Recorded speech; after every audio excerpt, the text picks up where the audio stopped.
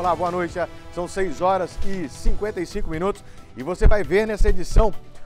Último MG Record de novembro mostra uma mega operação na zona da Mata Mineira.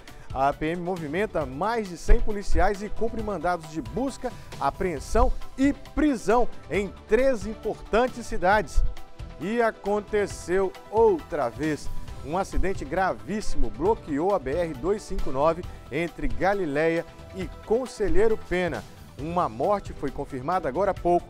Testemunhas estavam revoltadas com uma possível imprudência no trânsito. E aconteceu de novo. Outro jacaré da espécie papo amarelo foi capturado pelo Corpo de Bombeiros. O bicho estava passeando na área urbana. O animal, de 2 metros de comprimento, foi solto numa lagoa. Eu te conto em qual cidade.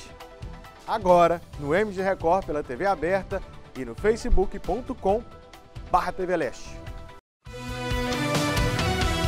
MG Record